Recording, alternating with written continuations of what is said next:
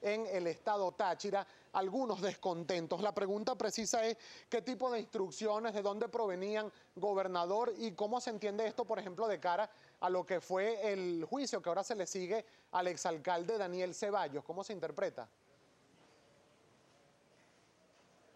Bueno, primero que nada nosotros estamos eh, siempre cumpliendo una instrucción de paz, una instrucción donde la gente pueda desahogarse.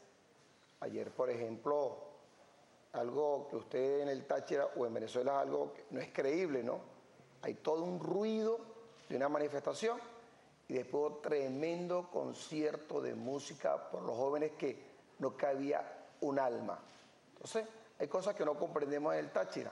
Ahora nosotros seguimos apostando en la paz, ordenándonos, planificando, y también muy contentos porque está lloviendo y eso nos ayuda a limpiar la ciudad, cosa que hacemos todos los días, ¿no? Ahora nosotros no queremos mezclar ningún elemento que pueda contaminar el juicio que está llevando en la ciudad de Caracas con el ciudadano que usted mencionó. Yo estoy muy cuidadoso en cada cosa que digo porque siempre nosotros nos atacan en una forma feroz, que estamos trabajando por el país, por el Táchira, mientras que ayer ocurrían algunos desvanes en parte de la ciudad que fueron corregidos por nosotros. Estamos en un acto de entrega de 300 viviendas ayer, entregamos una cancha de uso múltiple totalmente techada, se recibieron 10 motocicletas del Ministerio de Interior de Justicia y Paz para el patrullaje tuvimos una revisión perfecta del Ministerio de Asuntos Penitenciarios para eh, ver el comportamiento y el estado de nuestros centros penitenciarios. Bueno, trabajando todo el tiempo sin parar, porque esa es nuestra misión y ese es nuestro trabajo. Otros más bien de apostarle al desastre y agradecido a Globo. Yo estoy muy agradecido hoy a la decisión de habernos hoy convocados, ¿no? Para decirle a Venezuela y al Táchira que estamos sumados a la paz todo el tiempo. También nos gustaría, gobernador, a propósito de lo neurálgico que es el estado Táchira por ser un estado fronterizo, conocer su posición respecto de esta denuncia que realizó ayer el primer mandatario venezolano Nicolás Maduro de un presunto plan de golpe de estado para derrocarlo. Ayer se habla de siete funcionarios militares detenidos de la Fuerza Aérea que, según ha dicho el presidente Maduro, pretendían utilizar un avión tucano para disparar contra el Palacio de Miraflores, un canal de televisión y otras instituciones del Estado. ¿Qué opinión tiene el gobernador del Estado Táchira al respecto? Bueno, primero hay una lectura muy clara, ¿no? Hay, un, hay una observación por parte del sector beligerante que ataca al gobierno, que quiere cometer un homicidio, un magnicidio o dar un golpe de Estado, que no encuentra otra forma que no sea por la violencia. Estoy seguro que por la parte terrestre, que está muy bien custodiada por el Táchira, tenemos al señor general Efraín Velasco Lugo, que está desplegado con todo un equipo eh, muy reforzado en el Táchira con unidades militares nuevas, con el objeto de evitar el contrabando de extracción. Aquí se ha disminuido a cero. En el Táchira tenemos dos años sin secuestro, ha bajado el cobro de vacuna, etcétera, pero Aquí hay un elemento fundamental que es que por la vía terrestre no hay daño al país de un Estado que quiera atacar a Venezuela. Y si hay una evaluación perfecta, ayer escuché eh, con el mazo dando de mi hermano Diosdado Rondón, y explicó a detalle las personas que están conectadas, dónde recibió el dinero, y hay un grupo eh, bien grande de personas detenidas y hay una situación bien compleja que atenta contra la patria, atenta contra la soberanía y estoy seguro que no lo vamos a permitir porque somos amantes de la paz y queremos que el país siga adelante produciendo y desarrollándose.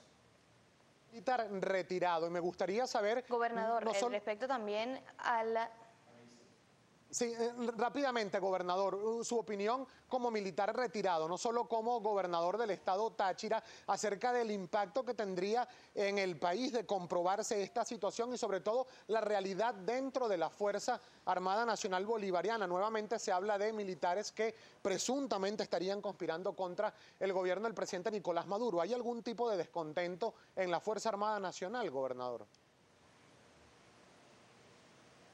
Bueno, hay una minoría totalmente comprobada. Eh, no deben llegar, eh, tengo entendido, a unos 10 oficiales de la Fuerza Aérea Venezolana, 10 oficiales retirados de alta graduación. Hay un excomandante de la Fuerza Aérea y, por supuesto, involucrado a un personal civil.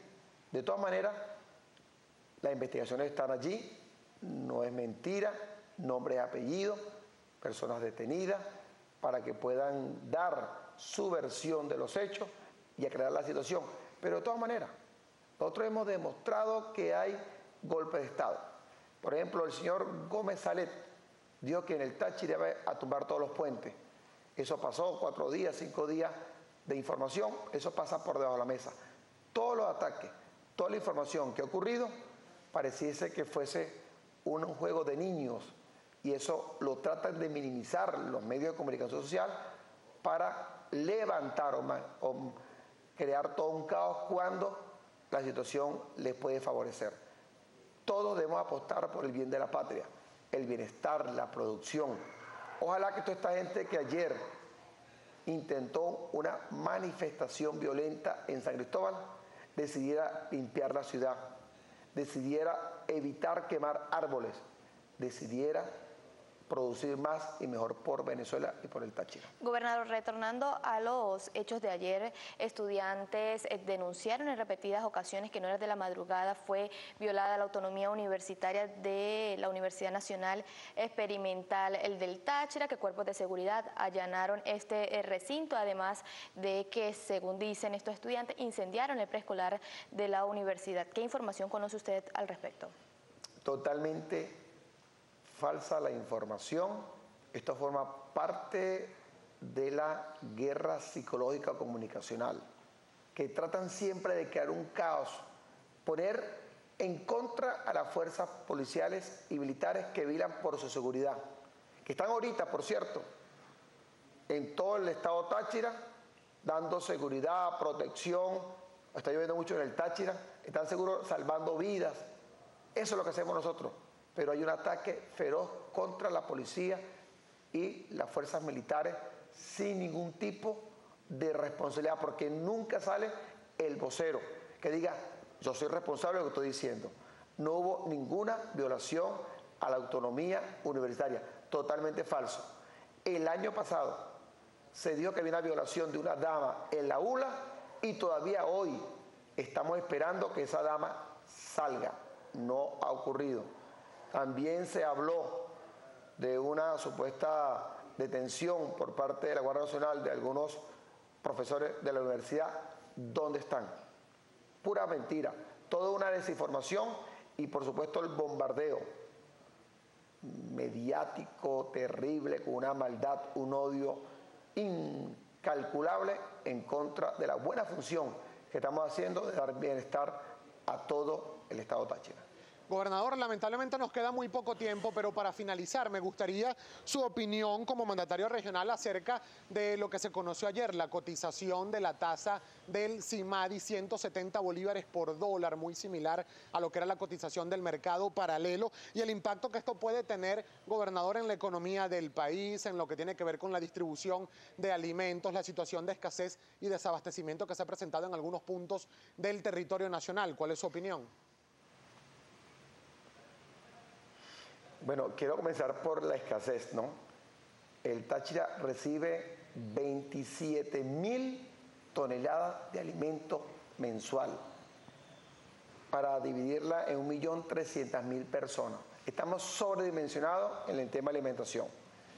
Y quiero destacar acá, por primera vez a través de Globovisión, el supermercado Barata de San Cristóbal es el primer supermercado de mayor venta en el occidente y el tercero del país, dicho por ellos mismos. Los premium, garzón, están full en el Táchira. Por eso que están cada día haciendo nuevas instalaciones, creando nuevos establecimientos. Imagínense si hay crisis en el Táchira, que están haciendo más hipergarzón y nuevos locales de venta de comida en nuestro Estado. Segundo, me parece razonada eh, la información ya que ha establecido el gobierno para sincerar el valor del dólar y acabar con ese dólar de la muerte, ese dólar que nos ha creado un gran caos. Y ahora sí vamos, rumbo a producir, a exportar. Ya estamos hablando de la exportación. Tenemos la semana que viene, el miércoles, se inicia una reunión para eh, trabajar muy intenso sobre la producción del Táchira. Anoche yo estaba reunido con un grupo de empresarios colombianos para poder producir más y mejor en la zona económica especial Ureña, San Antonio del Táchira. Bien, agradecemos nosotros entonces al gobernador de la entidad, José Gregorio Vielmamor, quien conversaba sobre los acontecimientos de este jueves 12 eh, de febrero en la capital. Con esta información desde el estado Táchira retornamos el contacto a los estudios de primera página. Nosotros agradecemos a nuestra compañera Angie Murillo, también al gobernador del estado Táchira, José Gregorio Vielmamora, por haber tenido la gentileza para compartir estos minutos con nosotros en primera página.